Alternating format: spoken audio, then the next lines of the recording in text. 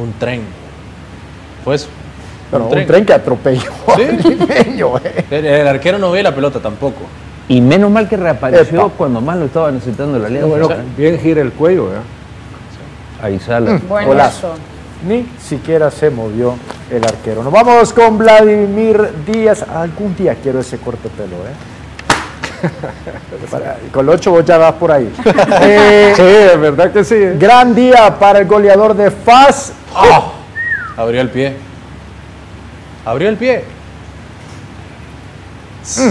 Otro que no se movió. ¿Y cómo? Si no iba a llegar. Nos vamos ahora con el tercer candidato de la noche, Junior Padilla. ¡Vámonos! Este es un golazo.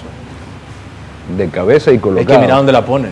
No, con Eh, toda es- la intención. Con idea, sí, Eh, esto es elegante. Sí, este es el que más me gusta. Este es un candidato elegante. Por qué diferente, buena. ¿sabes? Ah, Qué, Qué bueno. golazo. qué bárbaro. ¿Cómo cacha la pelota con la cabeza? que un toquecito. A diferencia de Arizona, él cacha la Le pelota da la dirección. con la cabeza y ¡pum! Y la remata porque, o sea, hace de Brian Paz del Chiquipum, Chiquipum con el cuarto y último candidato, veamos.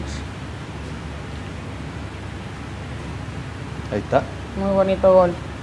Viene, media Desde vuelta. atrás, armando la jugada, el centro, como la baja y pierna izquierda, cambiándose la Buena diagonal. Y es como Buen el tercer pase, gol del control. hace el campeonato. Igual, parado de pecho. De, y- de definición. Tremendo se el, aplaude, el se aplaude portero, la jugada. el Complicidad portero absoluta. salió tardísimo.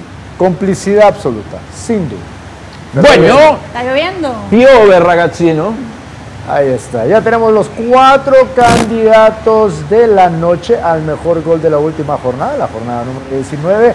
Fiscal, ¿cómo se vota? En Twitter, Alvarito, ahí en Twitter, la polémica TCS, están los cuatro candidatos y usted puede votar por su favorito, pero a las ya, porque al final conocemos al ganador.